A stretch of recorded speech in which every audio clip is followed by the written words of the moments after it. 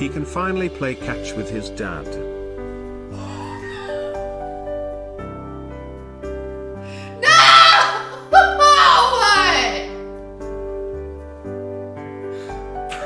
Time to move my 6 month recurring sub to QT, maybe if I sub for long enough she will finally be put on the yard to replace Ludwig.